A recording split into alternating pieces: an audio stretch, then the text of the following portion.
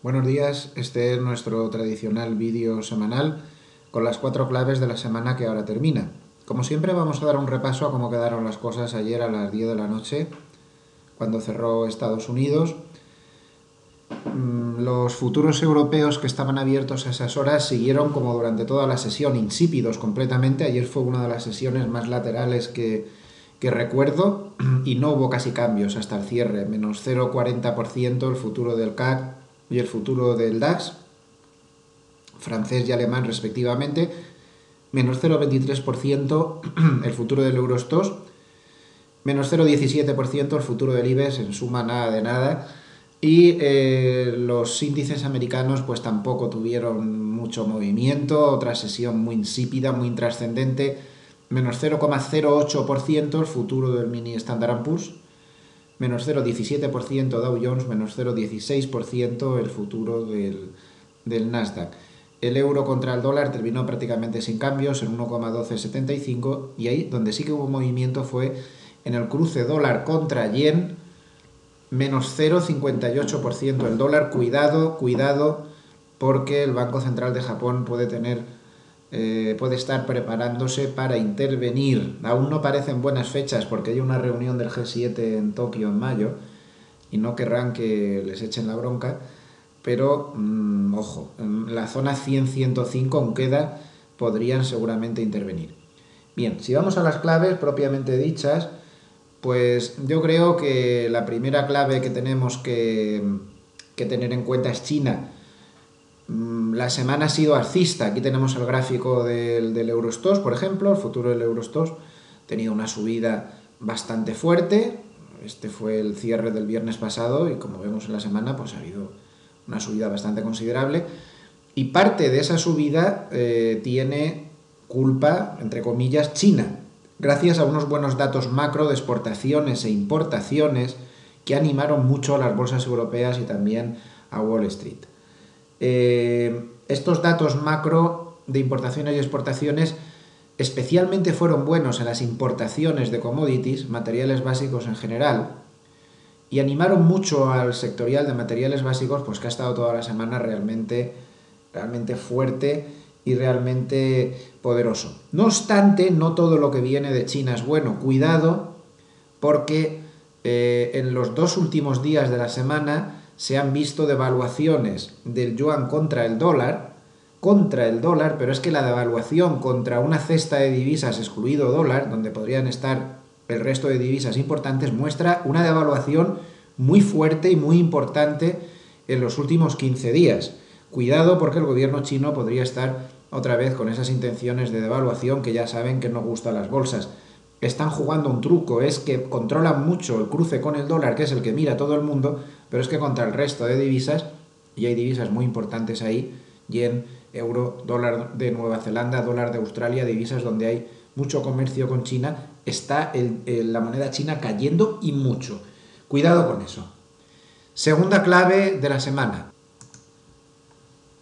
Para mí, esa segunda clave pues, ha sido el sectorial bancario. El sectorial, el sectorial bancario pues, ha sido uno de los responsables pues, de esa subida que veíamos. Aquí tenemos el DAX, por ejemplo, que también ha sido muy importante, hasta esta zona de máximos donde se está parando siempre desde hace varias semanas, es muy importante ver si la rompe o no. Bueno, como decía, el sectorial bancario pues ha sido también culpable, entre comillas, de las mejoras durante la semana. ¿Por qué? Pues sobre todo porque el lunes apareció Italia diciendo que había un acuerdo sobre eh, una especie de fondo que creaban en el cual se amparaban eh, para decir que con eso los bancos pequeños no iban a tener problemas. Bueno, este fondo, una vez que se lee la letra pequeña, es un fondo dotado de apenas 5.000 millones de euros en un país donde los, los activos dudosos en la banca ascienden a más de 300.000 millones de euros. Claro, estos 5.000 millones de, de, euros comparados con más de 300.000 es como una especie de, propina o de broma o de semitomadura de pelo para intentar eh, animar al mercado con, unas monedas. Eh, está muy bien, sirvió de, revulsivo para el sectorial bancario, pero a ver, la excusa de este acuerdo con los bancos italianos a mí me parece más bien que es eso, una excusa, y lo único que pasa es pues, que estamos en un sector con una sobreventa pues extrema, la caída que lleva el sectorial bancario, este es el gráfico del SX7P, que es el sectorial bancario del estos 600, pues como vemos, la bajada es que es astronómica. Eh, en el verano pasado estaba el sectorial a 200 casi 30 y es que ahora está a 148 y eso que ha remontado mucho. Entonces no lancemos las campanas al vuelo, los bancos han sido muy importantes durante la semana, pero cuidado porque las cosas siguen exactamente igual. También han ayudado a los bancos los resultados empresariales de algunos grandes americanos. Por ejemplo, JP Morgan dio resultados menos malos de lo esperado y en su momento durante la semana pues subió y también se unió pues a esta, a esta especie de recuperación mm, para justificar, donde para justificarla pues había usado la excusa de los bancos italianos. Técnicamente hablando, como vemos, este es un gráfico de semanas, el sectorial sigue pulverizado, podría ser que estuviera intentando un, doble suelo que se confirmaría si pasara por encima de esto, pero eh, la caída ha sido tan terrible que, eh, claro, tiene mucho potencial de rebote, un simple rebote del 38.2% de Fibonacci nos llevaría aquí arriba. Pero prudencia porque la situación sigue exactamente igual bajo mi modesto punto de vista. Tercera clave de la semana, y yo creo que la más importante de todas, el petróleo. Este sería un gráfico diario del futuro del, petróleo americano. Entonces, eh, como vemos, la semana ha sido muy alcista, menos el último día donde hubo bastantes dudas, y toda esta alza tan fuerte, viniendo desde los 35 dólares, llegó hasta 42,40 se produjo por el descuento de que mañana domingo eh, la reunión que tienen productores de petróleo de la OPEP con Rusia, pues se va a llegar a un acuerdo para congelar la producción. Esta subida del petróleo se transmitió, como suele ser habitual últimamente, hay, mucho, eh, hay mucha correlación entre lo que hace el, el petróleo y lo que, hace, lo que hacen las bolsas, bueno, pues se transmitió inmediatamente y es el tercer pilar de la subida. Eh, que recuerdo, datos buenos en China fue el primero, eh, la subida de los bancos fue el segundo y la subida del petróleo, que a su vez hizo, subir pues, a todos los sectoriales relacionados con la energía, fue la tercera pata. ¿Cuál es el problema? El problema es que se ha descontado que va a haber un acuerdo satisfactorio para el mercado, pero ahora mismo, a estas horas en las que estoy grabando este vídeo, no hace mucho la última noticia es que el príncipe de Arabia Saudita lo que ha soltado es que quien dijo que ellos habían renunciado a que si Irán no firma el acuerdo de congelación, ellos no lo van a firmar tampoco. Como sabemos, todo este tirón se produjo por una filtración teórica de la agencia de noticias rusa Interfax, es una, es una agencia de noticias muy poco fiable y que ya ha filtrado muchos rumores imaginarios, según esa filtración, todo el mundo estaba de acuerdo en llegar, pues eso, pues estaban de acuerdo en llegar a un acuerdo.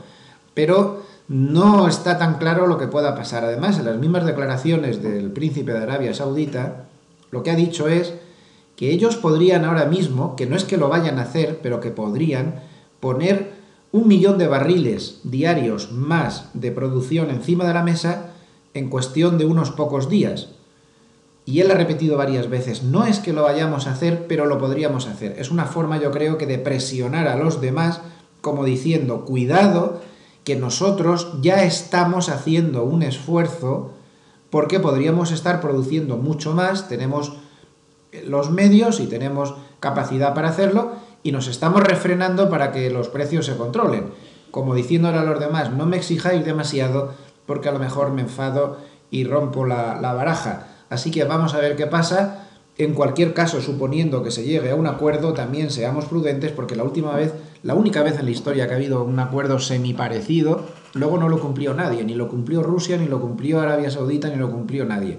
Y todo esto, claro, se ve al cabo del tiempo porque no es tan fácil controlar, y menos en este tipo de países que no son muy transparentes ni muy democráticos, que digamos, sobre todo todos los de Oriente Medio, pues no es tan fácil controlar cuáles son las producciones reales.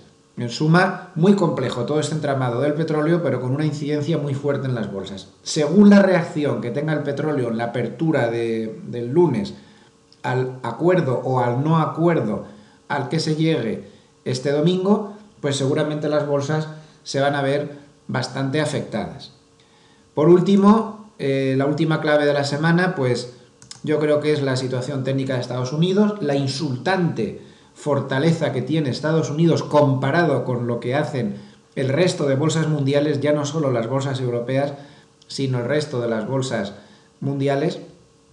Y bien, pues eh, técnicamente hablando, eh, estaba en un estado de muy fuerte sobrecompra, intentó corregir la sobrecompra en lateral, no ha sido una limpieza demasiado perfecta y ahora pues ha vuelto a remontar otra vez al alza y vuelve a entrar otra vez en zona de sobrecompra.